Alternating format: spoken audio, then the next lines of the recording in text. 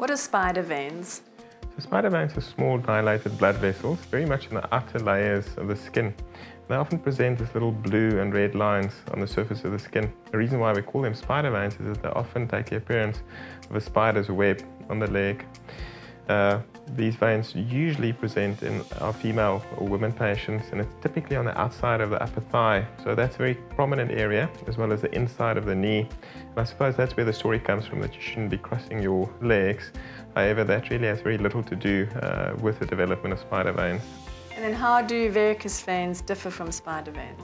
So the differentiation that we make is purely based on size. So when a vessel is smaller than a millimeter in size, we would generally refer to it as a spider vein. And when they become larger than four millimeters in size, we would start referring to them as varicose veins. The, the treatment is or can be different in that the spider veins that are less than a millimeter in size are generally just treated with sclerotherapy. So that to this day is a gold standard in the treatment of spider veins and not the surface lasers that we that is uh, sometimes used to burn these veins. Um, and then with larger varicose veins, the treatment becomes very different in that we use different types of uh, sclerotherapy and or other procedures like the intravenous radiofrequency ablation procedure that we do.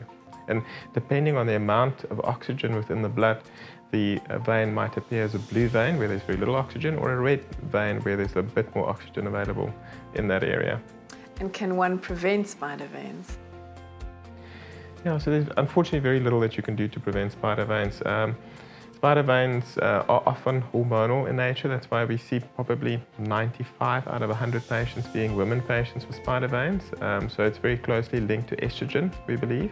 Um, there's not much that you can do in the prevention of those veins. Most patients at the age of 50, well, in fact, about 50% of people at the age of 50 would have some sort of spider vein somewhere on their legs.